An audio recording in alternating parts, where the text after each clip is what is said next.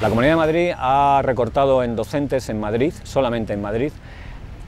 en un plazo más o menos de 11 años, cerca de 8.000 profesoras y profesores. 8.000 profesores que además ha sido en detrimento de la calidad educativa del alumnado, ya que han tenido, hemos tenido en nuestras aulas que acoger unas ratios mayores, unas ratios eh, con un aumento muy significativo.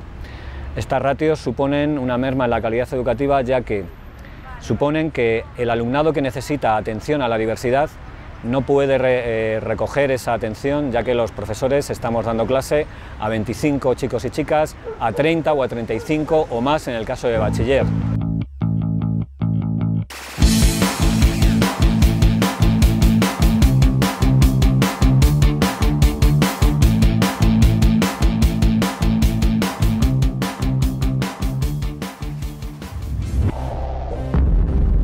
En el caso concreto de infantil, eh, la problemática es que desde, el 2008, que nos pusieron unos recursos bastante, o sea, unos decretos bastante denigrantes, pues ha habido recortes de supresión de aulas, por ejemplo, el aumento de ratio en esos decretos nos perjudicó porque en vez de haber un aula, pues de, en un aula de 14 niños y en otra 14, lo que han hecho es juntar dos aulas, de tal manera que quedan 28 niños en un aula con una sola maestra con lo que los profesores interinos eh, se les ha despedido y las condiciones pues se han empeorado bastante, porque una maestra con 28 niños en un aula de 3-6 años pues es una barbaridad. Luego también hubo un cambio en el pliego de condiciones de la Escuela de Gestión Indirecta, que hicieron que muchas escuelas que estaban llevadas por, por profesoras a través de cooperativas se las han quedado empresas privadas eh, manos de empresas privadas, cambiando los pliegos de condiciones, con lo cual la calidad de la enseñanza ha empeorado bastante en ese sentido. Los recortes en la educación de adultos en Madrid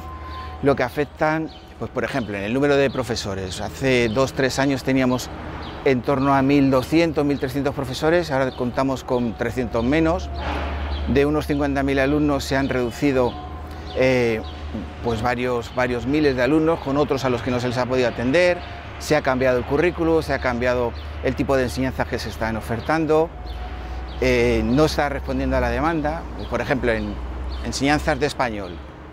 pues nos obliguen a tener solamente un grupo de español independientemente de que podamos tener 70 personas con distintos niveles. Lo mismo ha sucedido con las ratios. Eh, en enseñanzas iniciales, que sería lo que anteriormente se llamaba alfabetización o neolectores,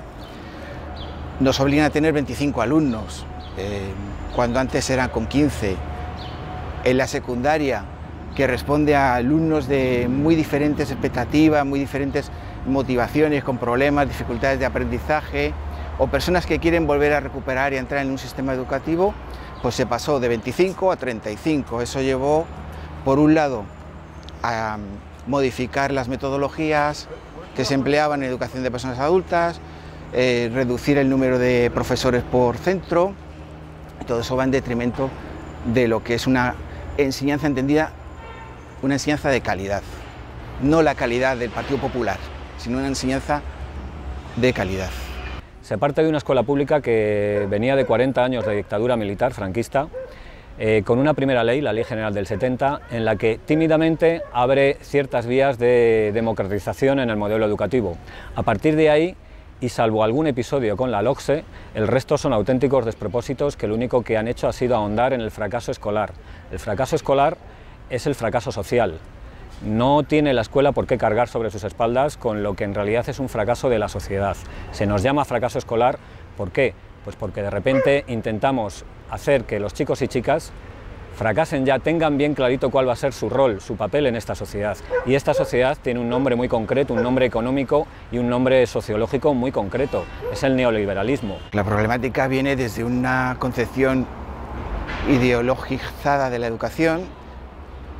que se ve plasmada por, la, por el desarrollo de la LONCE en todos los niveles educativos y si se parte de un error, pues las consecuencias están siendo cada vez más catastróficas en todos los niveles ha hecho lo que ya Europa dijo que había que hacer con las empresas públicas, la directiva Holstein, que era eh, todo lo susceptible de ser privatizado, que lo sea, que se privatice. En Madrid se han privatizado el 50% de la, escuela, es de escuela concertada, de escuela privada concertada. Esto ha sido gracias a la cesión de suelo público, de espacios públicos y sobre todo de las subvenciones que se dan a estos centros privados concertados, dinero de todas y de todos. 11 es una ley que supuestamente se trata de mejorar la anterior ley de educación,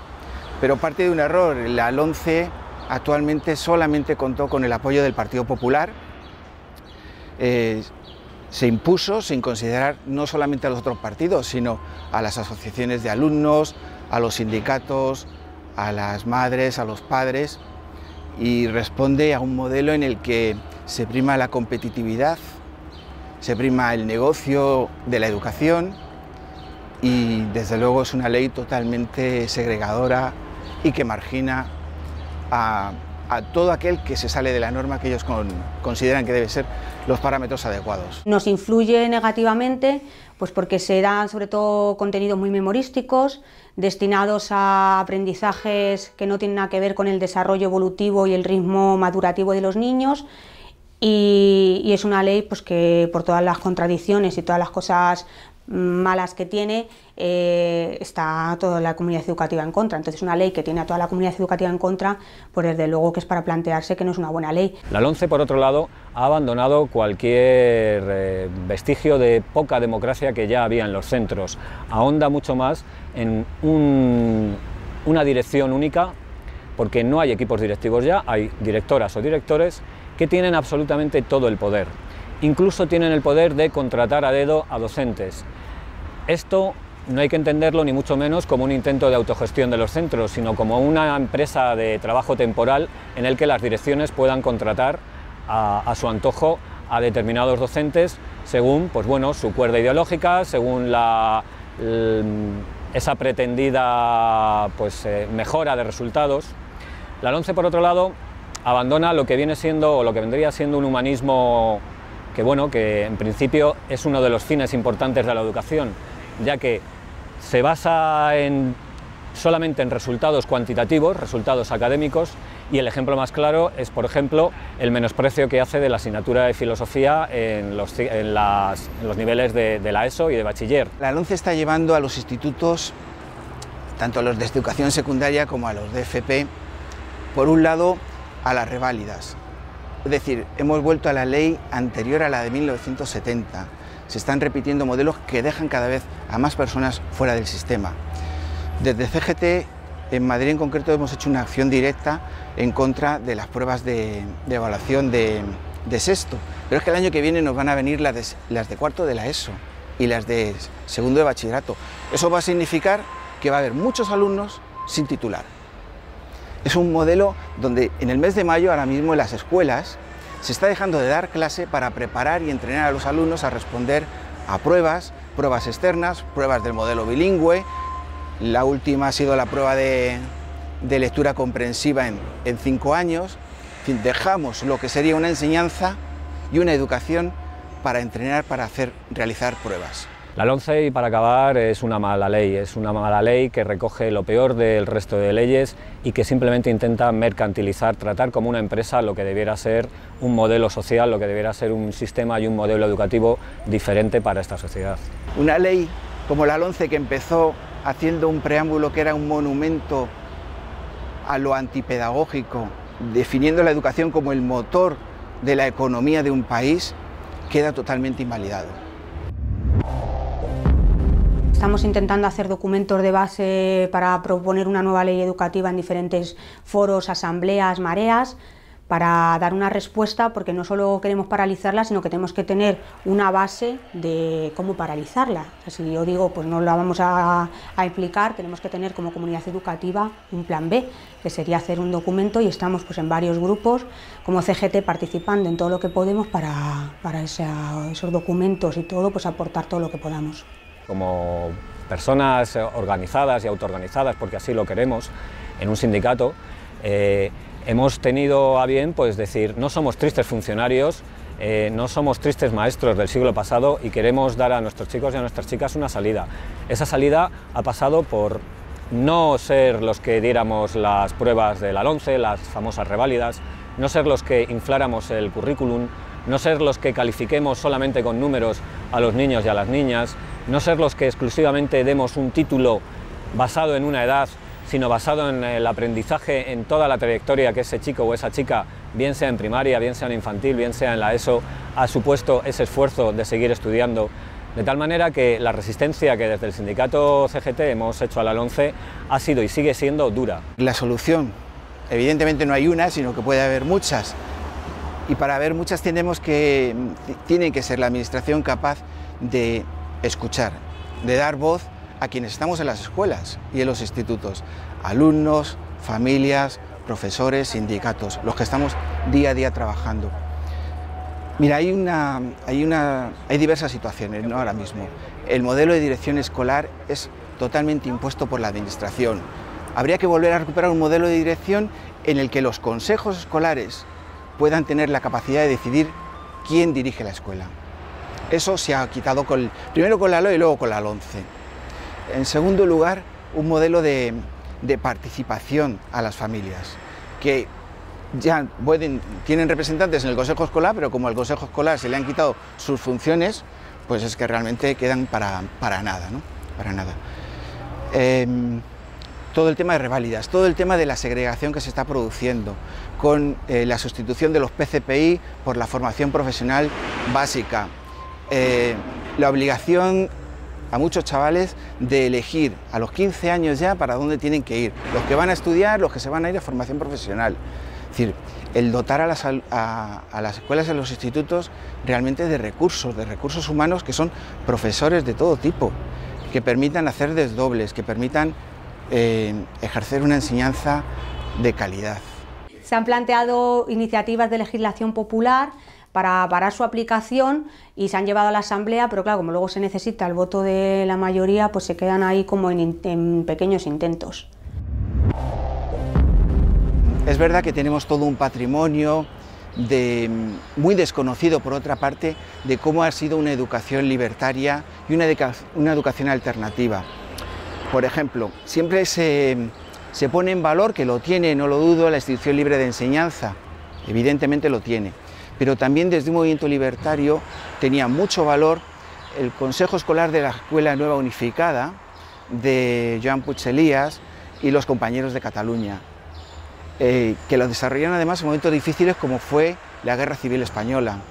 Pero tenía mucho valor la Escuela Natura, la Escuela de los Hermanos Carrasquer, también en Barcelona, o en Alicante o en Valencia. Eh, maestros y maestras que trabajan con los alumnos y alumnas eh, haciendo proyectos de investigación, proyectos cooperativos, donde la escuela salía fuera del aula y donde alumnos sin libros de texto eran capaces de saber trabajar en investigación, en exposición y siempre eh, fomentando lo que sería el apoyo mutuo. Y ese modelo educativo, desde luego, tiene que ser, en primer lugar, eh, libre, democrático y participativo. Esto significa eh, pues unas escuelas abiertas, unos centros donde las familias, donde la gente que,